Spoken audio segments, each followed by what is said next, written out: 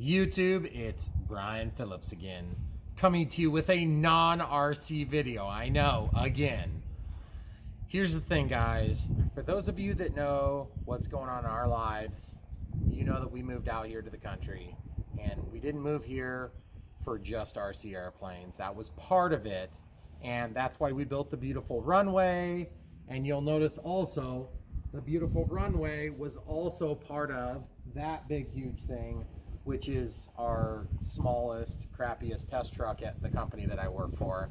And uh, so that truck is uh, over 40,000 pounds. And you can see those things on the back are 1,000 pound blocks.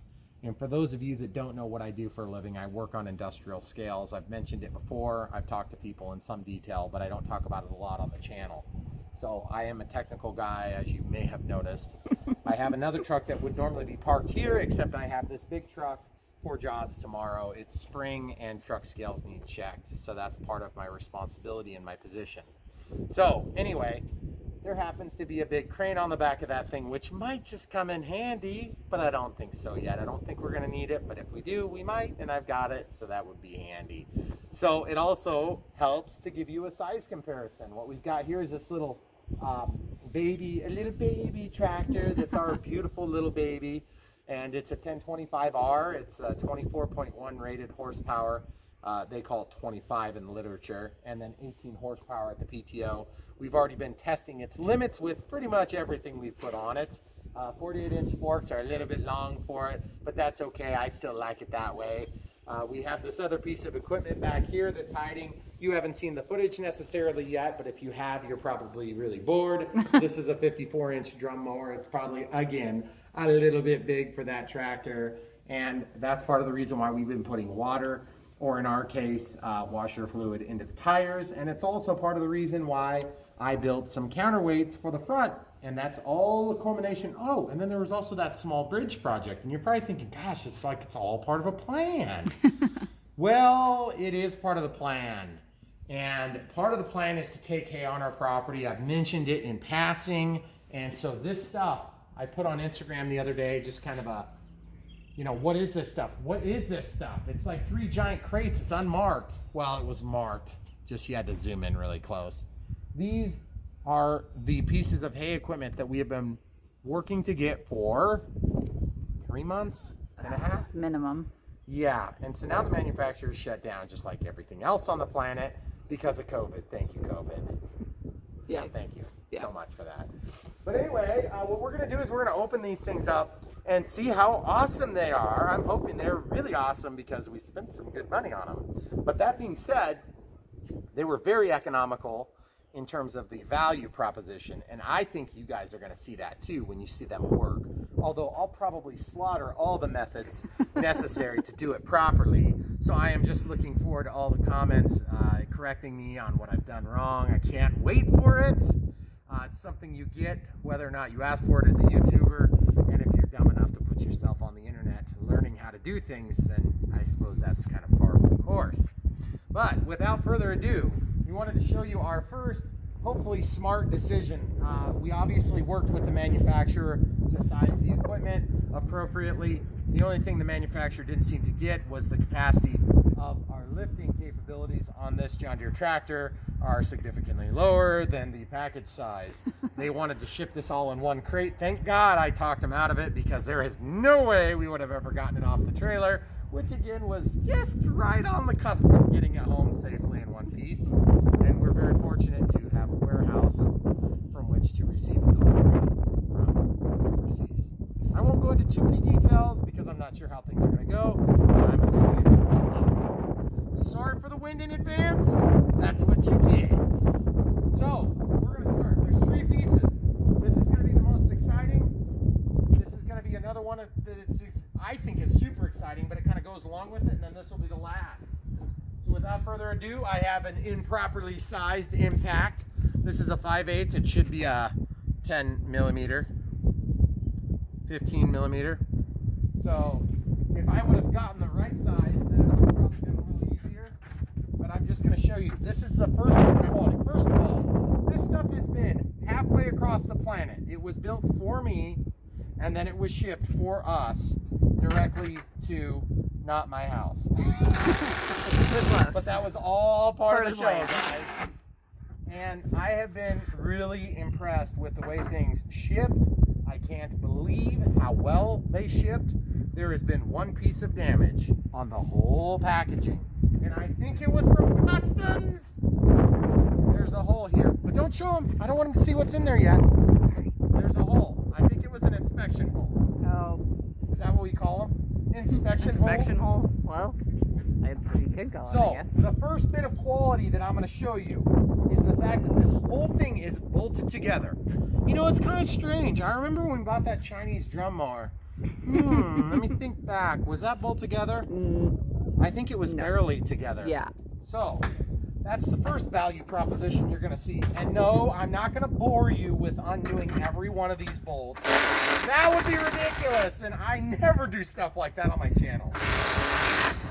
So, what I'm going to do is I'm going to basically undo the top, and then we'll show you what it looks like as it comes apart. And then we'll probably, and by the way, I should admit, in shipping this from halfway across the planet to where I am now, probably the most damage would have occurred on my portion of the trip, just in terms of like squishing and moving around the, the trueness of the boxes.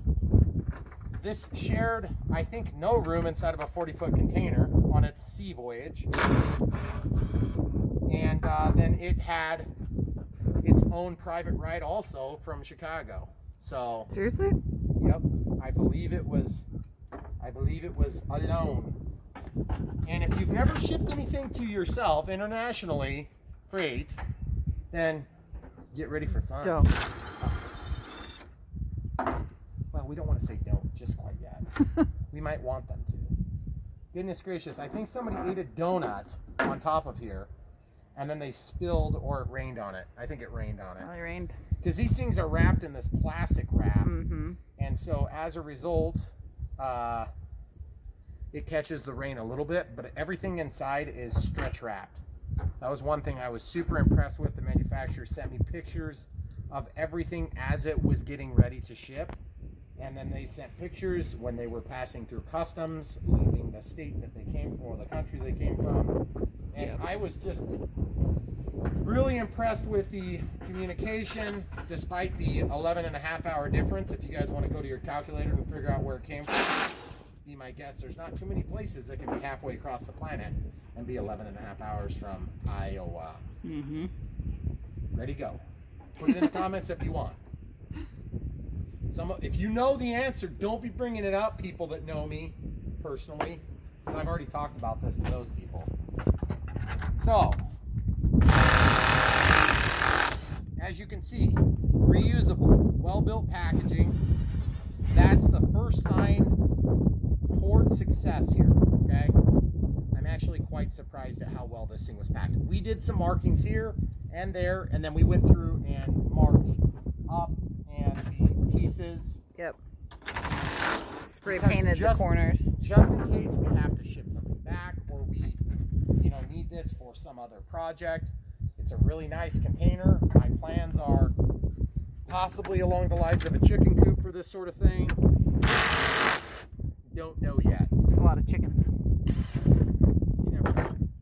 So, as you can see, so far so good. Nothing's fallen apart yet. I've got two more bolts. And then what we'll do is we'll show you what's inside.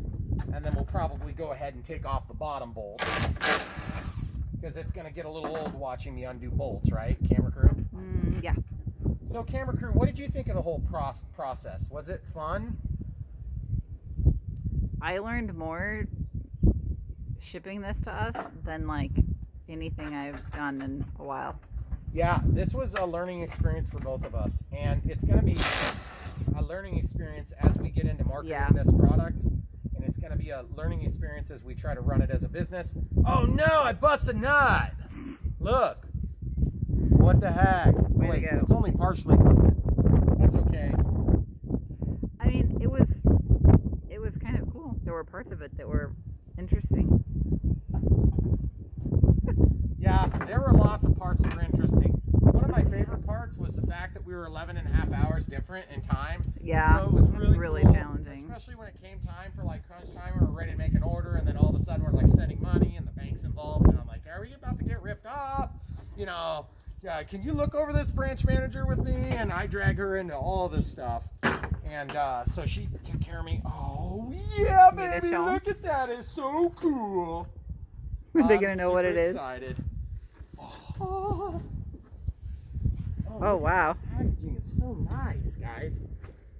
I mean, it's crazy. I, usually, an unboxing is like, wow, cardboard. Whoa, let's cut it. Oh, there it is.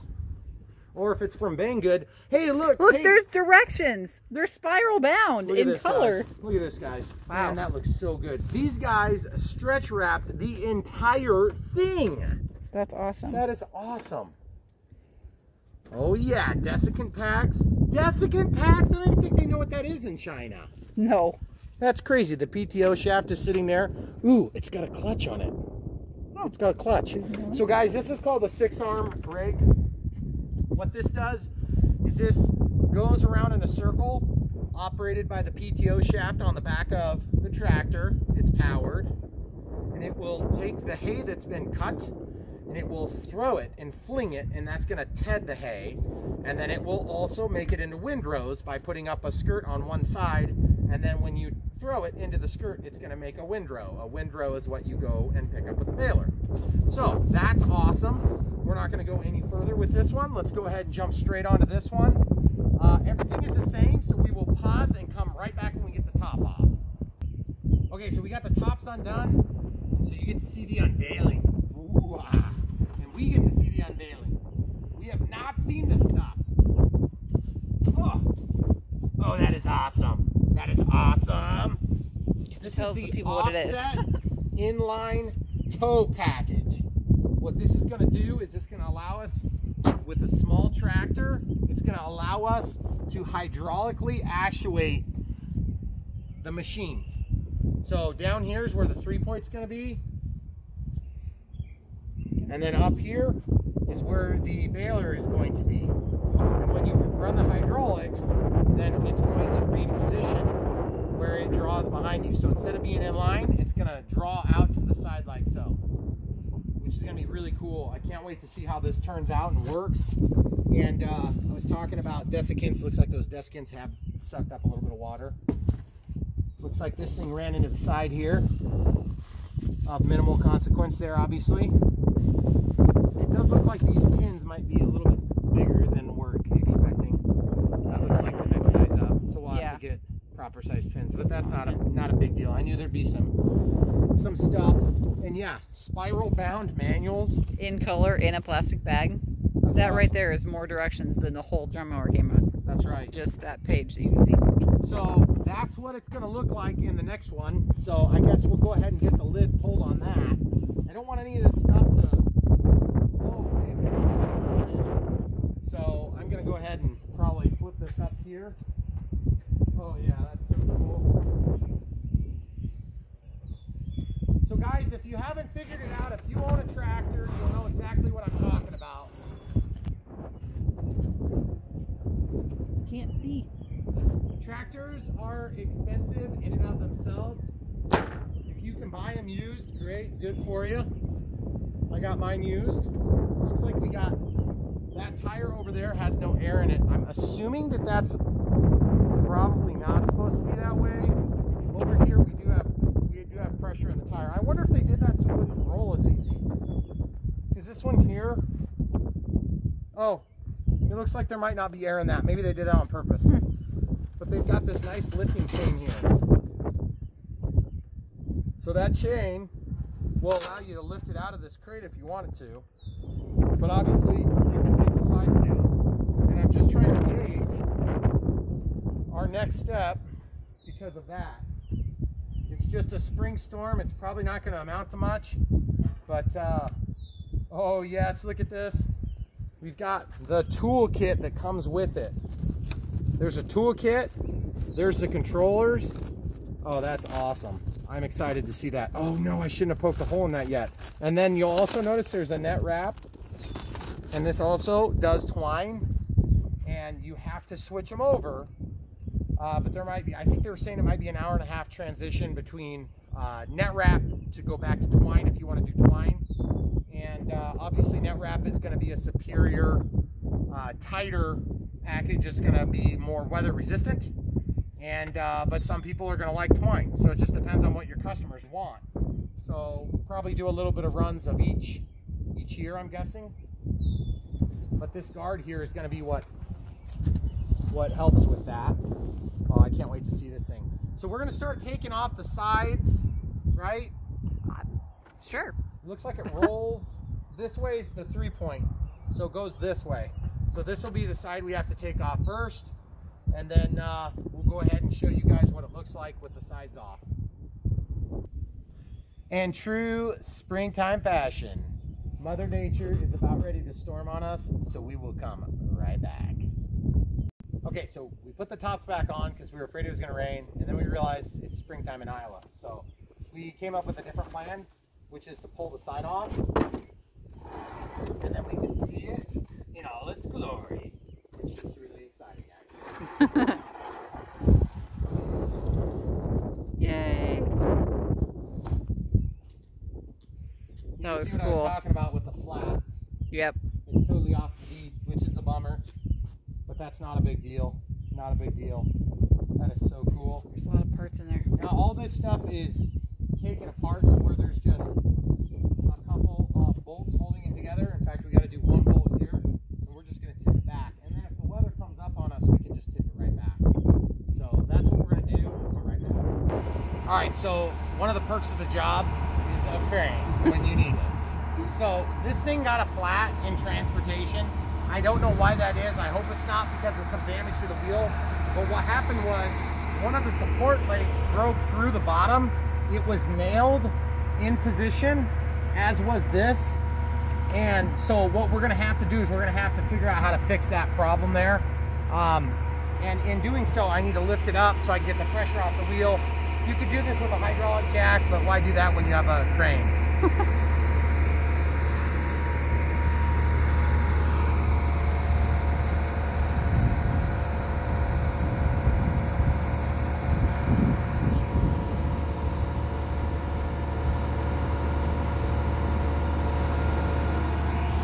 Okay, so now that it's free, I can work this out. Okay, it's free, he said, so he's gonna work out that piece that fell through. There's just a nail that's loose in here, see? That loose And I nail gotta get it is. through this hole here. So that's disappointing. This one over here looks like just a nail as well. So we're gonna try to lift it up on go past, past the camera. There you go. I don't want you to be on the phone.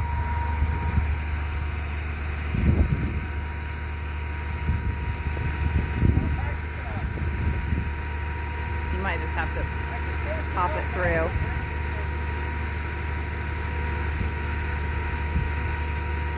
Because when you need another set of hands. Now we're just lifting up the bottom. So, see my problem here, guys? This is stuck, and it doesn't want to pop out. So once I can get that freed up, it'll be no problem. Same thing with this. So I'm going to probably grab a hammer and pop that nail out. This is the tire.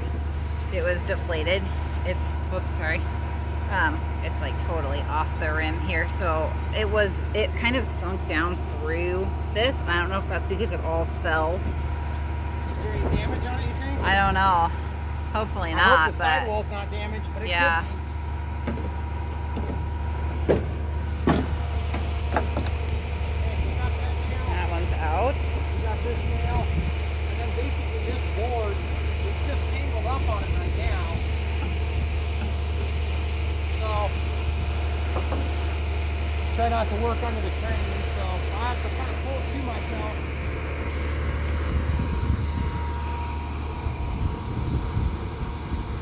Also undo that leg.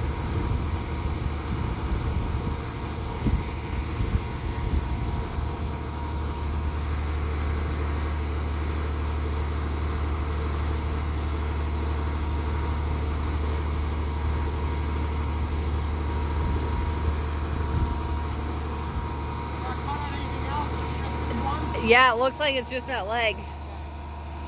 It's not caught anywhere else now. It's just that one leg that fell through.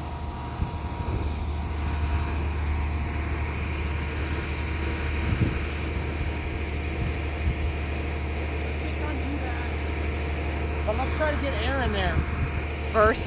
Yeah, because then we can lay it back down. It looks like it'll take the bead just fine. Okay. There's kind of a flat spot on it, but it shouldn't be a big deal. We'll see. I'm not going to worry about pressure. I'm just going to get some air. Okay. Meaning, I'm not going to get it right. I'm just going to get air on it. Let's see.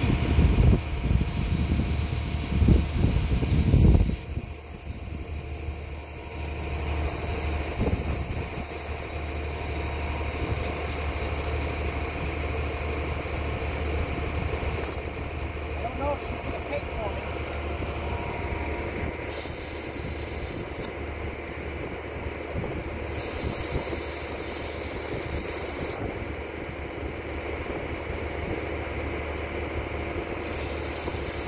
I may have to get some ether.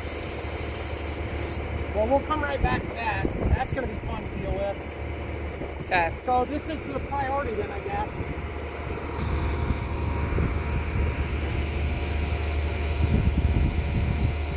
That's an unfortunate twist to our tale. There's one little nail in there. The nail is just kind of out of view. I'm just going to twist it out because it's just bent over. See it? Yep. That's not stopping it from coming out. But maybe if I get lucky, I can just more or less break the pallet out from under it. Do you need a second set of hands? Now, why don't we pause? We'll just undo that leg and let it drop down. Okay, so we got this little dainty thing out. Good lord, no wonder my tractor wouldn't pick it up. Look at that. That's crazy. I mean, I'm a little That's bit like- annoyed though because they built this thing so sturdy and then they put it onto a piece of half inch wood. That was probably a miss. Um, I think to their defense, this pallet broke at some point during shipment. It may have been reinforced. But I think this is also a shipping leg, meaning that they come with a leg that is, this is also temporary as well. Mm. The the one that it's supposed to use has a caster on it, so you can roll this around. Of course, we're going to have a little bit of trouble with that with our current configuration. So we'll come right back when we get that air in there.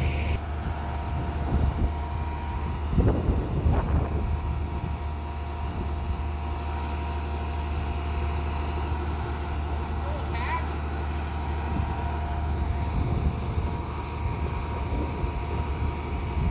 That front. Evidently, there's one more piece that's attached up front. There we go. There it goes. All right, fine.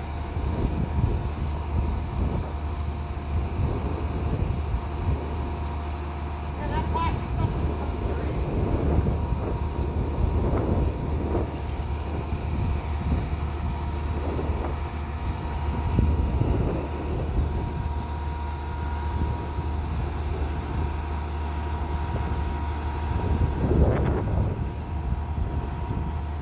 Can we give the people a 360 view?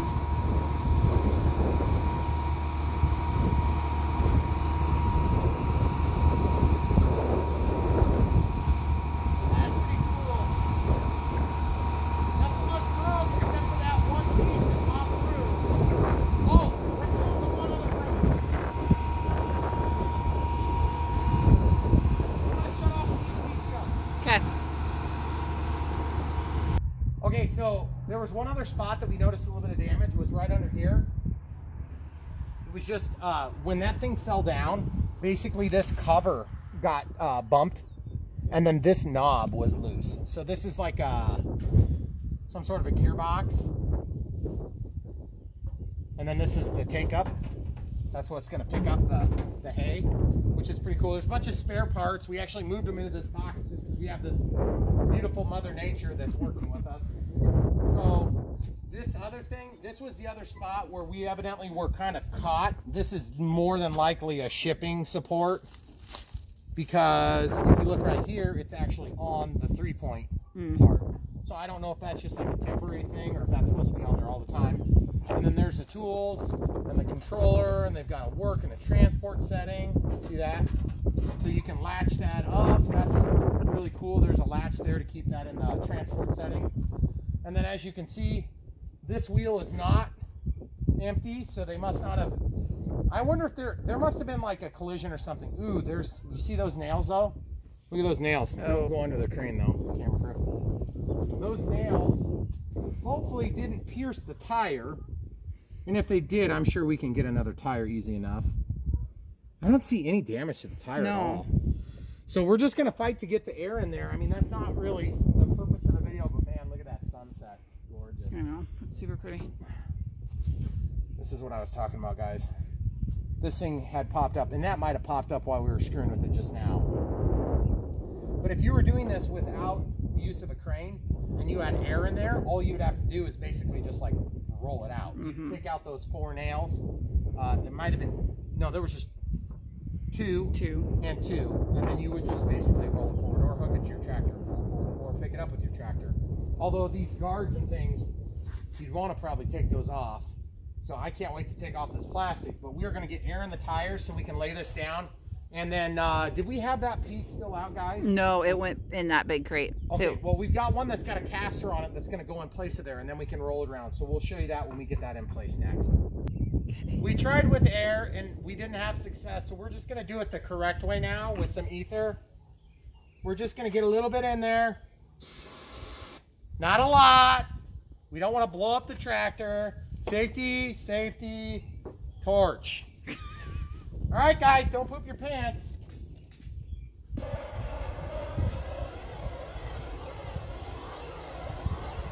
Okay, I didn't I didn't do enough evidently.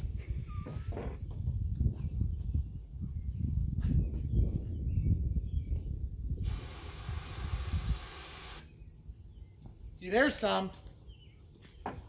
Okay, so this is a controlled explosion.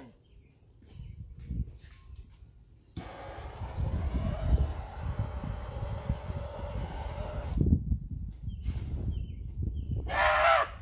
Ah, it's on fire! I never expected it to catch on fire when I filled it with ether.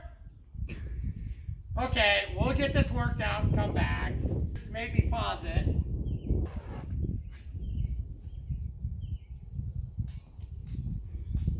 Are you filming? Yeah. Oh. You don't have to film anymore. I don't know how this thing got on the bead, but I'm sure it was really safe. Whatever that person did was totally OSHA approved. there was no flames involved at all, I promise, boss. Hey, look at that. It's on there. That's pretty cool.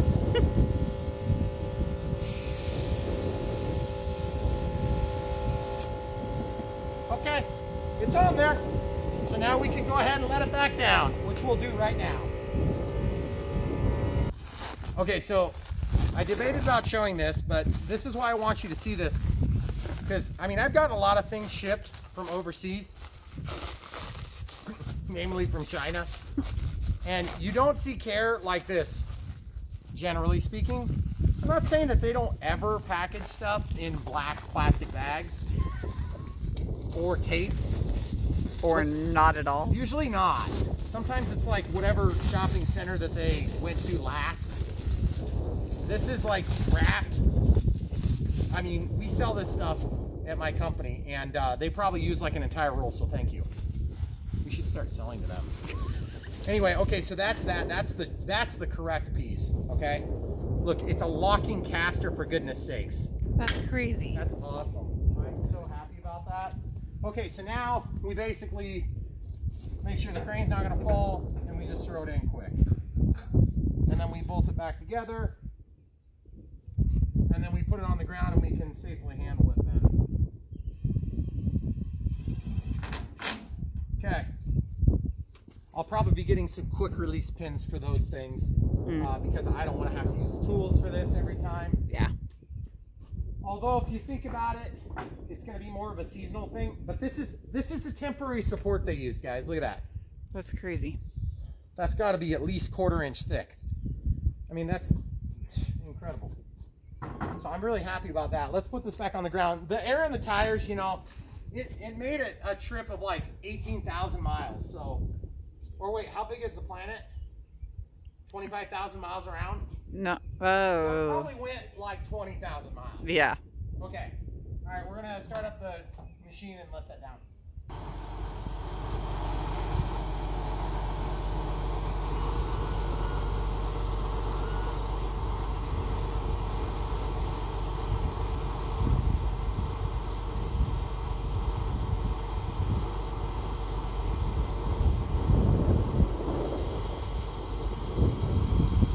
It's on its wheels. Cool. That's awesome. I can move this easily now. That is really nice. I mean, it's still heavy, uh, but that's a little bit easier than trying to flip the tractor over to move it. Yeah. Uh, yeah, really happy about That's that cool. feature. Yeah. So, next up, I think we're gonna try to get it in the garage and unwrap it. All right, guys. So we have the first one open. You've seen what's in the other two.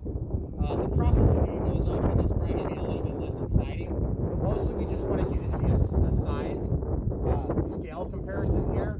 This is a 1025R. Like I said, it's a it's a class one three point, and uh, as you can see, we've got a, a really small baler, which is really cool. This is gonna be mini bales. I believe they'll be about 65 pounds maximum, and somewhere down to like 50-ish pounds. Um, and we'll report what they are when we're done because we can weigh them. I got scales and stuff. So that's what it looks like. Obviously, we got the tiller still on here because we've been working on a project with the tiller.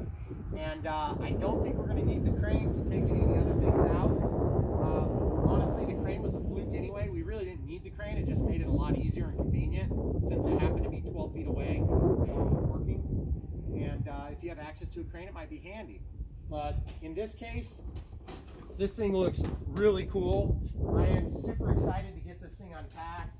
Um, I don't think we're probably going to get it unpacked tonight. But the thing that's so nice is now I can move it. I can get it out of harm's way because weather comes and goes in spring like that. And these two can stay closed if we wanted. Uh, the hydraulic offset inline tow package is going to be kind of hard to move around just because it's heavier. Um, and we can do that with our tractor. It's still well within the lifting capacity of this 1025R. Um, and then this six arm rake is going to take quite a bit of assembly. So not sure if we're going to go through that, but we'll take a look and investigate the instructions are good on this thing. So we're going to look them over and get an idea of what needs to be done. Obviously what we had to do was just uh, kind of on the fly stuff and we've got everything palletized. That crate, by the way, was really heavy. So that being understood, I can move this thing. Did I already show him moving this thing by hand? Um, I don't think you actually moved it though. Yeah, I, you can move it by hand. yep. It's not it's not super easy to move, but it's it's movable. Okay. Now go move the drum mower like that. Yeah, there ain't no way you can't Yeah. move that thing. No, that's No. way easier. And the thing is, you got to remember, we're on a hard surface here. You know, if you've got this in storage for the season, then you're good. And uh, there isn't like a jack or anything on there, so you can't change the pitch or the angle or any of that. Um, but this is not on the three-point attachment points. Okay, so you could actually roll up, use that there, and then attach it to your three-point by moving your three-point up and down. Like I said, we're gonna have to get different pins. Uh, did come with lynch pins. That's kind of nice. And then I believe this is just a shipping mechanism, so we'll leave it on there for security as we're kind of moving things around in case it would want to tip over. Um, but obviously you've got hydraulics, you can move them up and down, get it to the right point, and uh, take care of things that way. So this is pretty cool. It's a well thought out machine. That's why I bought it. And uh, you guys might want to as well. So ask me about it in the comments below if you're curious. Obviously we are going to show you running this thing. Like I said, it's going to be somewhat comical because we're learning how to use all this stuff. But uh, this is going to be really cool. And by the way, did you show them the hydraulics up here? Look at this. Oh, that is so cool. Self-contained hydraulics on this unit. It's got its own. Look at that cylinder. That cylinder's like as big as the cylinder for my my tip mechanism on the John Deere tractor. And look, guys, it didn't come with some chintzy throwaway strap. It came with like a real chain. That's incredible. Yeah. I I looked at multiple brands when we were doing this, and by the way, can't get John Deere, Can't get Case IH. You can't get any of those big brands. Not stateside. You can't get uh, Vermeer. They don't make them. They don't No. make a mini baler. Okay. So if you're looking for a mini baler for a mini application, and you're in North America, you can be looking for a while because there are some out there, uh, but they're really expensive, and this is better. So yeah. ask questions, and I'll try my best to answer them. I watched, I searched, I looked. I found a Multiple bunch of videos. I actually found some videos from Redlands. They were better than any of the other manufacturers. multiple is an understatement of like how many of these things we looked at. Let's say the emails were in the thousands. Literally. Easily. Yeah, literally in the Yes. thousands. And when we finally got ready to do this, we were ready to do it. And Hmm. it still took us a month and a half to do it. Yeah. So look at this finish you guys. You see It's this. so nice. Look at the look at the valve control on this. I think they use all German hydraulics. What is this thing? And there's Oh, been like Italian. That might that? be that's for the net wrap. That might be Oh. for a cutter arm adapter. Of course they have Mhm. instructions. Just look how nice the finish is though. I just I'm floored by how nice Look, this is. the warning labels are in English. They're yeah, they're in English. And that's one other reason And a complete sentence. to go with this company is because they speak English Yeah. and other languages, but Mhm. I know they speak English because they've been speaking to me. Yep. There was a couple of times where we had some technical jargon that got mixed up, but it wasn't anything major. So this is the tools that come with it in this little pouch. Like it's actually a nice canvas labeled bag that has the tools that you Show would need. this. You gotta show What? this. Look at. Jeez. Look at the eyelet for picking. That's crazy. That is awesome. That I was mean, the shipping like That was the shipping eyelet. wow. I'm Yeah, sorry I interrupted your, I know. your thought, and you were telling them about the bag. of Yeah. Tools. It has the tools that you need. It's not just like a plastic bag. It's a nice canvas. There's your all your Goodness. manuals. Look at this, guys. That's They've got oh, crazy. oh 12 and 14. There you go, and 15 and 13. So 12 through 15. It's got all the manuals. Oh my goodness! Look at this. There's even more. Jeez. And look, not knuckle busters. I just, I wish that when you bought equipment, it was like this. Yeah. Look at this. They give you a snap ring tool.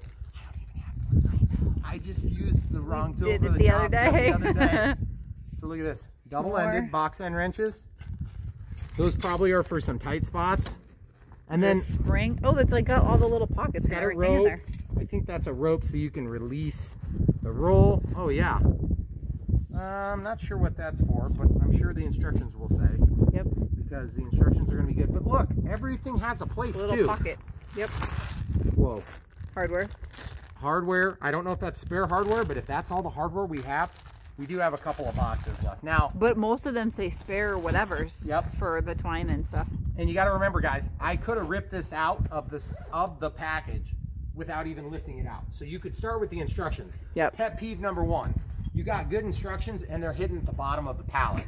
We once had that happen on a pool, an above ground pool, and we got to step three thousand four hundred eighty nine. we found the instructions. And a desk. Remember our office desk? Oh yeah, the office desk. Even the moving guys didn't know how to Couldn't take figure it out how to take it apart. And so they refused to do it, which saved us a few bucks on shipping. um, so guys, look at this. They put cardboard and foam on the plastic.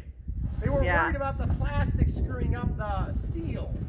That's three quarters of an inch thick. The PTO cover, we were saying this is one of the nicest like PTO covers that we've seen on all the equipment that we And have. we have John Deere equipment, guys. It's not like we have crappy The stuff. The finish is like It's so nice. Really high quality. Look Yeah. at this. Spring loaded. Look. Toolless. To get down and look. Quick, easy access. That is awesome. Can you turn the light on? Things I think you can turn the flash on right there. Can I? Oh, yes. Oh, Ooh, ooh. yeah. Exciting. Now, I don't know if this is lubed, but that sure looks lubed to me. Oh, did you see that? That's a guide. There's a guide there. That must be for one of the strings if you're doing twine. And then all this stuff. So this is the, the jumbo uh, 1208N. There's different sizes, different widths of pickups. Screws in there. So there's not, un- it's nutserts. Yes, nutserts.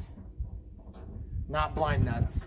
I had somebody correct me on that the other day, but I'm right on this one. Look, the holes are slotted. Do you know why you do a slotted hole in manufacturing? Because it's not always proof? perfect. Because then you can have imperfections and they still work. That's what I said. I was just saying how smart you are. okay, let's show them inside of here. Oh, I'm already pulling covers. I haven't even had it for five minutes. No Look at this. We're already taking it apart. Oh, there's even one more down here, guys.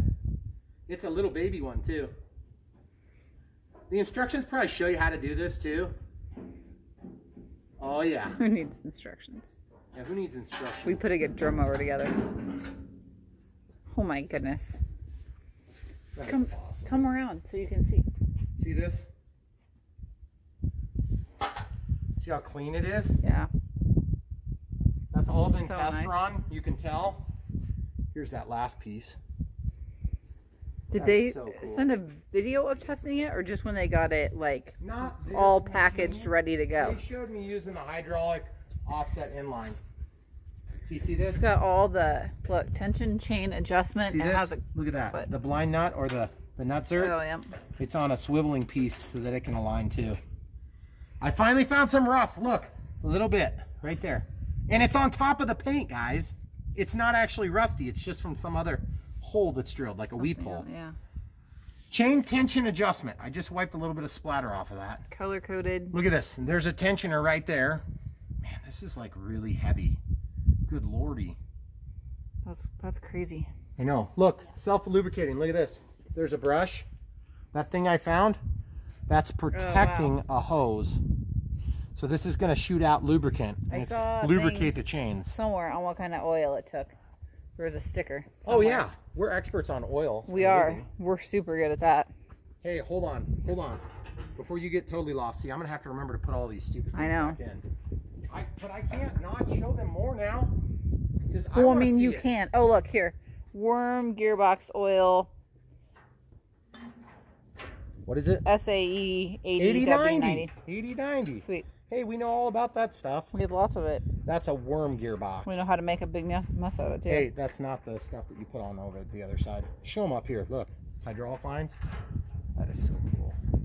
I'm gonna get this chain out of the way so we can show them under this. We're just used to opening everything and being like, underwhelmed. oh, great, that's broken. Camera crew helper, roll that over there, please. See the net wrap? This is a small net wrap,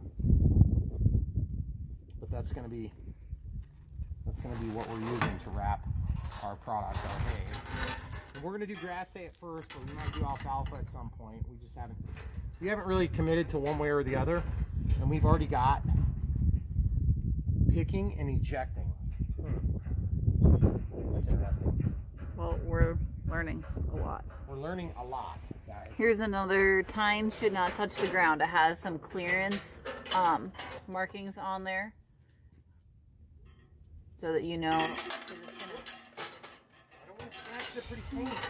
Yeah, Sorry, you're being crew. loud. The tines under there will pick up the hay as it's in the windrow, so those aren't gonna like run along the ground. They're gonna run and like And pick there's up. springs. There's springs too if you do hit the ground. Yep. That's true among all Yep. different manufacturers. But it's listed for you, so it's not a guess as to what it's supposed to, where it's supposed to sit. I mostly want them to see the hydraulic system because the hydraulic system is sweet. Here, see if you can show from here. There's a hydraulic reservoir here, I believe. Here, show them right here. There's your hydraulic reservoir, I believe. Mm. Yeah. And then there's a little shut off right there. This is going to be a pretty complex piece of machinery. Yeah. There's a lot going on. I remember there was this one moment in time where I was like, hmm, maybe I could just build one. Uh, yeah, no. I'm not going to do that. Definitely not. Def- definitely not. Def- def- Oh my oh, that's hinged. Are you kidding me? Look at this. I hope this thing. Come up here closer breaks. so they can see. Holy cow.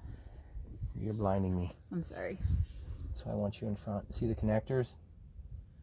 Nice automotive style connectors. Quick decouples. That's loose right now.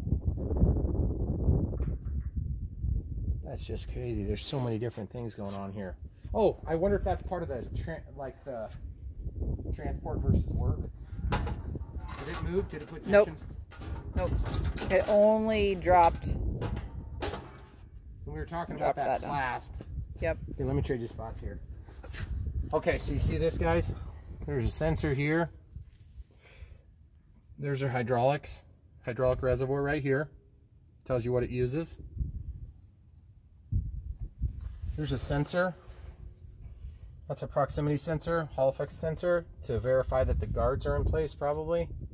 No, there's something else that happens. I don't know what it is yet. Here's here's one of those things. The protective hoses there. There's oil in there. Yep. You know, I can tell. So I can see a bubble, Bubble. right there. You can see there's a little bit of remnant of oil there. This is this is cool to see all this stuff finally. After all this time, after these many, many moons. So when this actuates, this Hall effect sensor is going to see this. So when all this mechanism works, it's going to pick up on that change in state. What is this here? Whoa, that's made in Denmark, whatever that is. That looks like some sort of, uh, it goes to a solenoid here. That's really cool. So basically when the pump, this, I wonder if the pump is integral. I'm trying to figure out where the pump is exactly. I know there's a pump somewhere. A hydraulic pump. I haven't found it yet. I should know where this is, but I don't know where it is yet. But it looks like when this actuates, it makes that mechanical switch. There's pressure and then return. This is cool. I'm excited, guys. I can't wait to show you more. But it's just really well built. Like like my wonderful camera crew said, we're just so used to being let down when you get a piece of machinery. Oh, that's a little better. I don't want to blind you. Yeah, it is blinding, by the I'm way. sorry. That's. So, I mean, I've never put this together or taken it apart, and I just did that in the dark by myself yeah. with one set of hands and not struggling. It's gonna be harder when it's dirty, I bet. I just can't wait to see it, guys. This is gonna be so cool. And you haven't even seen the the special options. And I have to run this control up to power from the machine. In our case, the machine is the 1025R. And so I had planned on basically running up and stealing power from this 12 volt jack right here. Mm. Instead of going straight to the battery, I haven't decided yet how I want to do that. But I got a 12 volt jack and just make a little dongle here. Possibly even put a cup holder. Use a cup holder to make the adapter. You stick the cup holder in there and that'll hold all your electronic connections. And then when you're done using this, you just put it all back on the machine. So this is the this is the wiring. Here, let's come up by the light so they can see it. That is so cool. Look at that. Wow. Power on. Oh, this is really cool. It's like an actual it's fused. thing. Must be some like afterthought. Look at that. I'm gonna say that that strain relief looks like it's a German-made strain relief because I remember working with a on a system in a distribution warehouse once, and they had these multi-conductor strain reliefs like that. It says Skintop. I don't know. Skintop is the brand then. So this is a wire that it comes with. It's got a lot. And then here's the here's the plugs, weather resistant plugs. And of course they've got these ready to go straight onto the battery. Looks like they heated those with fire. You can tell because they're black. Got a little bit of soot on them. This is really high quality. Look at this. Auto, manual, door, net wrap, power on, power off. Fused right here so you don't have to search for it. Looks like just a regular standard automotive fuse. That's awesome. I'm super excited to see this thing run. What do we got for a fuse? Looks like we've got a 20 amp fuse. Good lordy. I don't. That's kind of strange. 20 amp fuse seems a little much, but that's okay. Don't lick the ends, guys. So much to take in. So much to take in.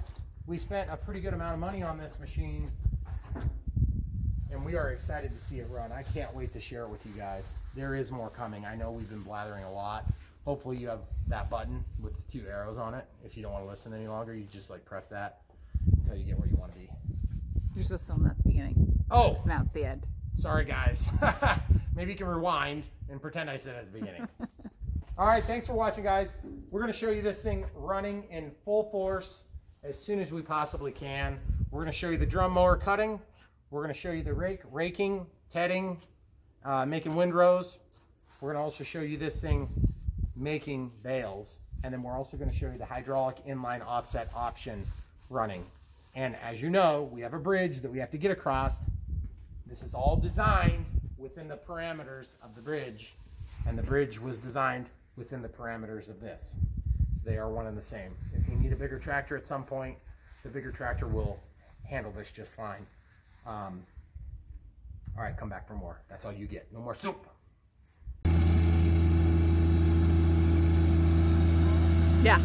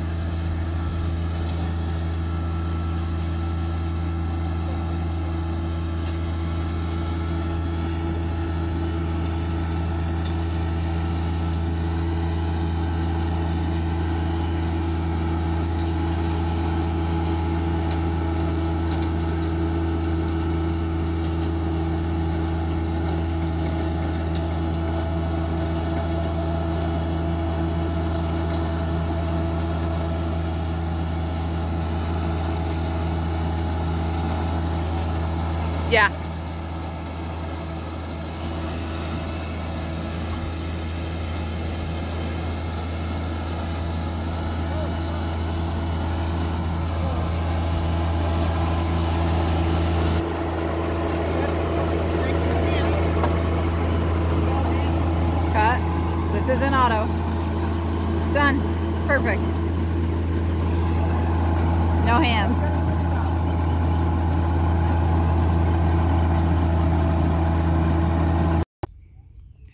All right, so we just wanted to show you what that bale looked like. Um, this is a, a mini round bale. And so as you can see, it's packed really, it's packed pretty dense. We have it set really heavy. So it's about as heavy as I can carry. So it's probably 75 or 80 pounds. It might just be the, you know, size makes it feel a little bit bigger. But you can see these ones down on the ground are the first four that we got fully au- automatically and it's pretty awesome because they look really good. And they're nice and dense. And then these were the ones we were kind of waffling through figuring out exactly how to do it. We had one proximity sensor that was giving us problems. And then we had a linear actuator issue that we worked through on this brand new Redlands Jumbo 1208N so that's what we're using right now. It's got a decent sized pickup and it makes a wide bale. I mean, this is this is a pretty good sized bale. And you can get them even bigger than that, which is kind of cool. But we love the way it works. We can set the density significantly less, but I just, I figure, why have more, you know, more rounds? It's just, so I kind of want to open one up for you, but we just put them away. So I don't really feel like doing that yet. And what we're going to do is, when we do our next cutting, now that we have all the machinery working, we're probably going to go ahead and do a video of just taking the hay start to finish. Probably not the whole field because I don't want you guys to see me roll down the hill and die, you know, fireball. That'd be no fun for me at least. But um, anyway, that's all you get for tonight. It looks good. It's working great. It's really cool to have this thing working now. And I got a brand new 3,300 foot roll of net wrap in here. It's super easy to load. It's, I mean, the thing picks up great. Um, there's a little bit of miss at the very end.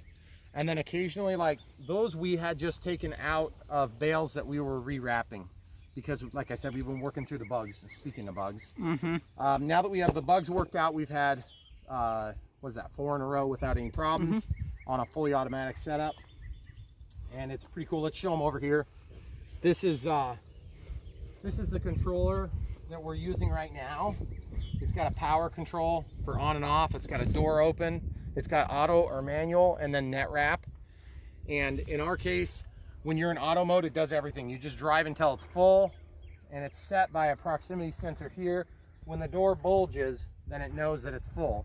And that density setting is set by how far that proximity sensor was back. And so what was happening is it was never reaching the designated density and therefore it never alarmed, and therefore it never set up a cut, and therefore pretty much the whole sequence wasn't working. So once we got that resolved, we were good. Um, beyond that, there's also, believe it or not, there's a Wi-Fi app, not Bluetooth, but Wi-Fi. And yes, you can do controls to move the linear actuator in and out. Uh, it has a bale counter, it has a location marker. It has all sorts of features that are just crazy. I didn't even know it existed when we got this machine. Um, but for now, we're just really enjoying it. It's got all fully self-contained hydraulics. It's got a safety lever here where you can lock it open. You can get in there if you need to drag something out of it, if you get a stick in there or something like that. Let's just show you what it looks like inside real quick. This is uh, very good piece of equipment. And we have our axle set to the narrow spacing. They can go out about another eight or 10 inches on either side. So this is what it looks like right after you're running. As you can see, proximity sensors all over the place. This is the one that sets your density. And uh, the net wrap function is largely controlled by this linear actuator. And they have a position sensor here and then this is your cutter. So when it pulls it it cuts. And the cutting blade is up here so it cuts the netting. It's a very clean cut. Um, I've never seen so many spare parts come with a machine in my life.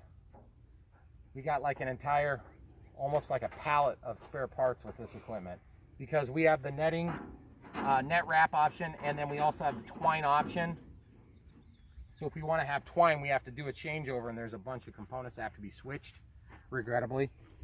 But I don't care because I'm not going to do that. The net wrap works so good, there's no reason. But it just looks super nice. I mean, it's dirty now because that's the way hay balers are going to be, but it's really a high quality piece of equipment and I had no idea what to expect coming out of India. Um, not to diminish the quality of stuff made in India at all, it's just a long ways away. So and I know India is making some of the John Deere stuff nowadays. So they must be pretty good at it. And they're, I mean, everything is just really heavy duty on this, including the stand that they used for transport that was like three eighths of an inch steel tube. I mean, it's just crazy stuff like that. You just would never do that. We have the wrong PTO shaft on here. We ended up using a clutched PTO shaft that was supposed to be used for our inline offset hydraulic tow package which will allow you to run this over like this. And there's one hydraulic cylinder that actuates this and that dictates where it goes. We wanted it to be nice and small. We also got this thing from a mom pop shop that helps us to kind of be a little bit easier putting on and off and it's worked really nice. Um, what was that thing called? Do you remember um like an easy hit. It's like a quick hitch but it's not a quick hitch. Yep and so it's more it's more universal. And so we really like it but it still makes it easier to get on and off because these stage well these class one uh, three points are notoriously difficult. They're all pretty difficult but the the class ones the machines are just big enough that you can't quite move them around when they get to this side. This thing is 1100 pounds. So the three point will not lift it off the ground all the way but all you're doing is when you lift it off the ground just to make a tight turn and then you let it right back down and you let the rollers uh, the, the rollers take it when you're on concrete, it does a little bit of hop when you make a sharp turn and you want to be in four-wheel drive on a small machine. This is a 24.1 horsepower tractor with 18 at the PTO. So it's rated for 20, 21 or 24.1, but it's actually called a 25 horsepower tractor. This has a Yanmar three-cylinder diesel, very popular uh, in the, the subcompact size class is those little Yanmar diesels. Really great engine, actually. Um, I love the way it runs. But the thing is, you're really using all of the capability here. I did run a wire back to the uh, to the battery because that linear actuator takes about four amps. They have a 20 amp fuse in it. But just to be clear, if you want to, this also has a little cigarette adapter and I originally ran it through the cigarette adapter. I ran into a couple of problems in that it's probably not rated for that size of circuit. It's probably a five amp circuit. So you're right on the edge. And so I said, forget it. So I did the tedious job of running it on a small tractor. It's horrible because there's a million things you got to route around. And what we did is we just put it into this this stuff here, which is extremely sturdy. I can stand on top of it and it won't do anything to it. So the other thing is the baler does throw some debris up here. And so you got to kind of watch for that. The other thing is when you're done, best blow this thing out with a blower, get it clean, get it, you know, all the electronics are up under here. So it's actually sandwiched shut. There's a Wi-Fi CPU unit over here. It's uh, it's got an 802.11 uh, wireless antenna on it. And then all the controls go out to this side. And then I don't think there's any proximity sensors over there, but this has a self-oiling chain mechanism. So there's basically a reservoir about this size and it's round. It's actually off to the side, so the fill level's a little bit confusing. But that actually runs through to both sides and it, it keeps the chain oiled. And then there's about like, what, five or six grease zerks. So in Uh, terms of yeah, about- maintenance, it's really a pretty small job compared to a full-size baler, which might, you know, cost $200,000 if it's brand new and it's huge. I mean, that's a big baler. You're going to get 2,000 plus pound bales out of it. This is going to do a 65 pound bale. But let's show them this little area. So if you look at that flag over there, you can kind of see where the quality of grass changes. We're about 15, 20 feet into that side, which I intend to take all that for hay, but that was just the first cutting. We kind of went a little bit excessive on our paths this year, just knowing that we were going to have to do this. And then we took all the way down this hill. Let's show them where we took. This is what we yielded here. One, two, three, four, five. Wait, one, two, three, four, five, six, seven, eight, nine, 10, 11, 12, 13, 14, 15, 16, 17, 18 bales. But they vary in size from about 60 pounds to about 100 pounds. We have one up there that's crazy dense. That one up there is like, it's like cigar In the middle. tight. There's a few I can pick up, so they're probably less than 60. Yeah, but that's our drum mower, and then this is the rig. We actually only minimally raked. Um, the drum mower makes a nice windrow. The problem is if you don't fluff it or ted it, which is just flipping the hay over, um, it will stay wet longer. And if it rains in the middle, then you have to sometimes flip it to get the water off of it or you'll mold. In our case, we had zero molding, but we did kind of kill the grass. That's why we have it up on this trailer. So if you guys do this, just remember you're going to compromise the grass if you leave it there for a couple of weeks. So just keep some pallets or something and you can put a pallet down. The pallet's going to kill the grass, but it'll be easier to recover. And then over here you can see this grass. We cut it really short. I mean, because the bearing plate is what it rides on this little 54 inch mower. And it's about that much cut height. And you don't really have any adjustment on a small tractor because it's everything the tractor can do to stay holding it. But this hill, this hill is the hill of death. So my path is going to expand a little bit, meaning where I cut with a zero turn just for, you know, our enjoyment. And then the lot line's right here. It goes actually through this wooded area and then jogs up to the road Yep. in a straight line. And then it goes down there and then it goes back to that second tree line if you guys can see. And we're actually at the end of that tree line is about where our lot ends. And it, it follows a creek, so a named creek. This is just drainage. It's, that belongs to the neighbor and then ours is over there. That one belongs to us, which is where we built our bridge. So anyway, this whole project, the culmination of this project has come in the last 24 hours. And when I say culmination, I mean the beginning of the hard work. Um, the hard work to date has been getting the thing to work.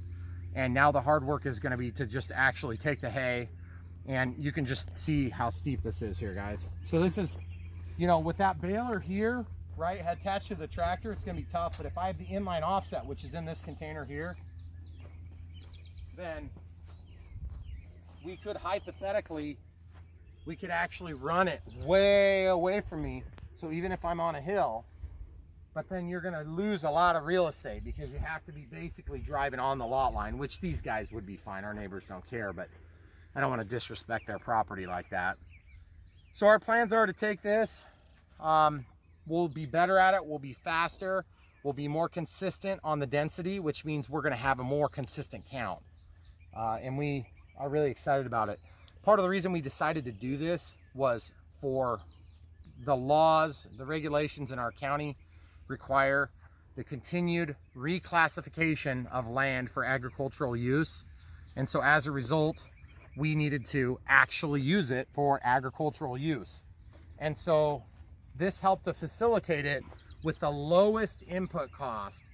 And I mean, we spent a pretty good amount of money on this equipment, but the thing is, we spent a lot less than we would have on a plow or a planter or a combine or a variety of different, even if you went and got used 20 year old tractors, which there's plenty of 20 year old tractors that work well, we don't have an outbuilding to put a tractor in and work on.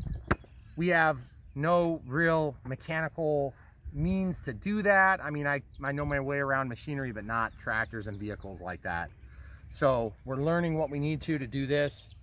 And every other machine we've gotten, we've had a huge steep learning curve. It's it's kind of crazy actually how much we've learned in the last year, isn't it? Yeah.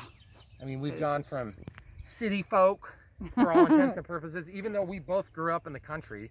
Um, Not toward the this end kind of, of stuff. yeah, I was gonna say we never really did this stuff. So we were more like in town on the outskirts of town, and now we're like full on country and wooded lots with creeks and bridges, and we love it. But And mosquitoes. and mosquitoes. My camera crew is going to mutiny me here now. so anyway, that's that's all you get for tonight, guys. This is this is oh that was a mosquito. Gross. This is um why we're here. Look at that guy. He got me. He got me. You got me. Ugh. That's all you get, YouTube. Sorry. Bye. Hey, YouTube. Brian Phillips here. We spent the evening baling again and uh, ran the mini baler, Redlands mini baler 1208 Jumbo. And we had a pretty good amount of production so far. There's a few more on the other side too, but we're just gonna run through and do a quick count.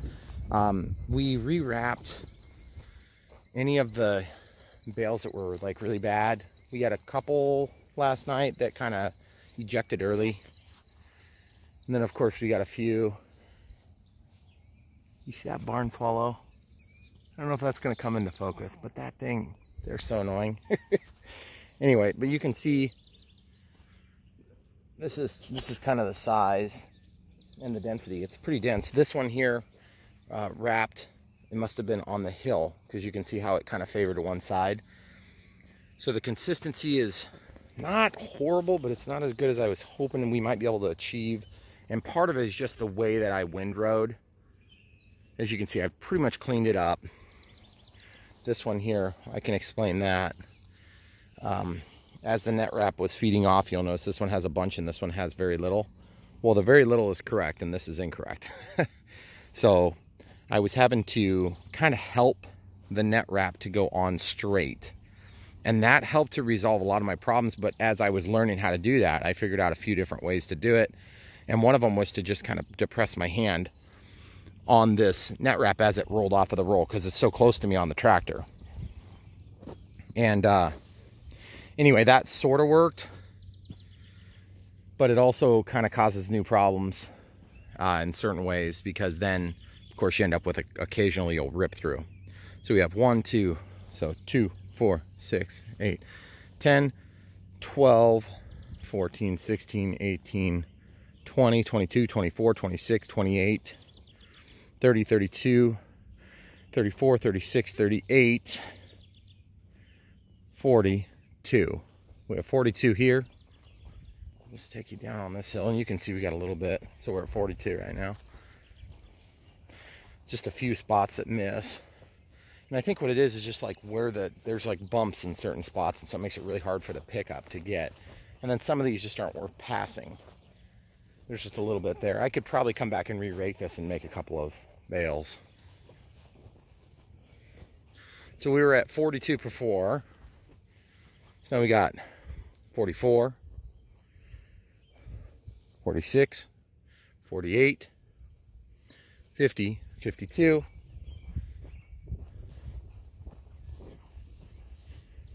This one wrapped a ton.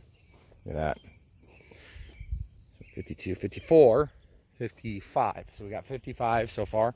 And then like this is the only spots that really kind of drive me nuts because it's a good chunk of otherwise good good hay. And I think what's going to happen is that'll just to a certain extent it'll renutriate the soil, but it's probably just going to kill the grass there. So we're 55. And this hill turned out all right. I basically had to drive back and then drive back forward. And it worked. It's kind of hard on the equipment. It takes a little bit longer, but that baler works really good backward actually.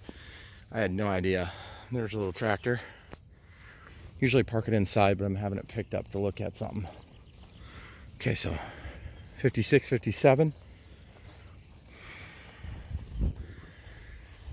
58, 59, 60, 61, 62, 63, 64, 65, 6, 7, 8, 9, 71, 72, 73, 74, 75, 76, 77, 78, 79, 80, 81, 82, 83. So we're 83. There's the rake. I know you guys have seen this. But that's just the yield from the front. So we're at 83. Then we have just a few more on the other side of the top of the hill. I still really like the way that thing looks. It'd be cool if be cool if it was a little bigger, but man, if it was bigger, everything costs more. The trailer costs more. The truck pulling it costs more. The fuel's higher. You know, you just burn through more of it. So we're 83. There's one over the crest of the hill, and then the rest of them are to the right. So there's 84, 85, 86, 87, 8, 9, 90. So we have 90 rolls. So 90 rolls from the front is a lot more than we expected, but we also burned through a lot more wrap because we had a lot of a lot of issues. I need to mow the regular grass too. And we have another three and a half acres in the back, closer to probably 3.75 acres to do, which is I think a little bit bigger than this. So, and we only took a partial cutting this time because we mowed way back in preparation for all this dirt work. So if we yielded about 90 uh, bales, and by the way, there's a varying density. There's a few that are pretty light and a few that are really heavy. I could probably make three bales out of them. So it just depends on what I was trying to accomplish and if I was going up a hill or you know, if I broke two bales to try to make one, I usually just kind of squeeze them both in there and make it work.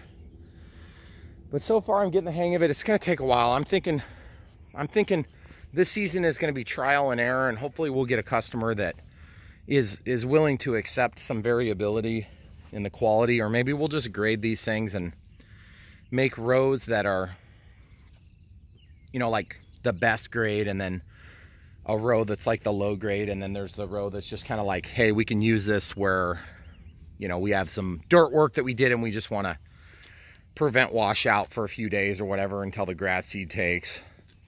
So not sure how I want to handle all that yet. Not even 100% sure of the storage.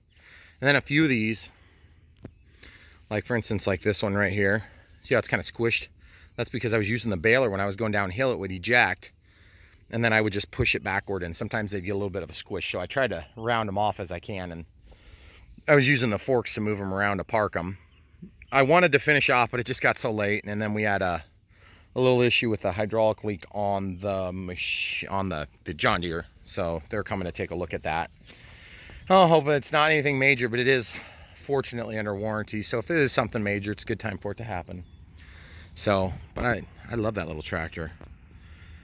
I kind of wish it was about double as heavy and about six inches wider wheelbase that can't tip over. that would be perfect because then I could uh, I could do everything I wanted in the same footprint, but uh, I'd be able to keep from tipping a lot more.